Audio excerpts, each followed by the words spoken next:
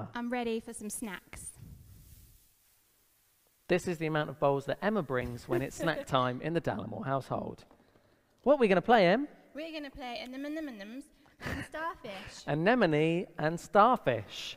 Now, for those of you who come to our holiday clubs, we Oh, do yes. often play this game, but we just change up. We just change the again. name. So, you are going to need Some bowls. some bowls, if you've got some plastic picnic ones, or you can do it with bits of paper with your name written on one side and whoever else is playing, their Yeah. name on the other side.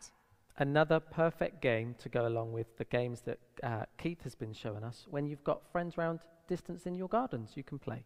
You Super can indeed. stuff. So, you give yourself a time amount. Normally we do what, three minutes, I think? Yeah, two and a half to three Yeah, minutes. three minutes. Have the teams or two people.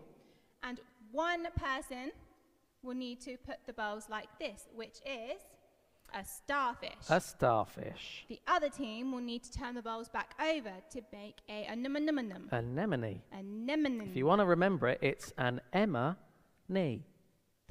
Anemone. So, I forgot what I was going to say now. That's an anemone. An anemone and a starfish. So, you have your two and a half minutes, you set the time, and you have to try and turn over as many as possible, and then you count them at the end. The person with the most, either if you were the starfish, the starfish, or if you were the anemone, the anemone, then you get the point.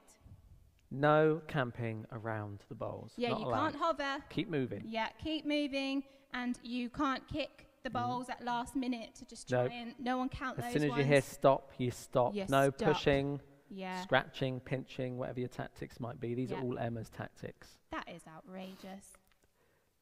Just because I won last time and You you, were just win. rubbish. I was.